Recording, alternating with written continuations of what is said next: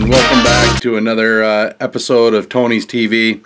And this time we're uh, featuring the all new Cross Hare, which is a control board for crossing gates and flashing signals at a highway intersection.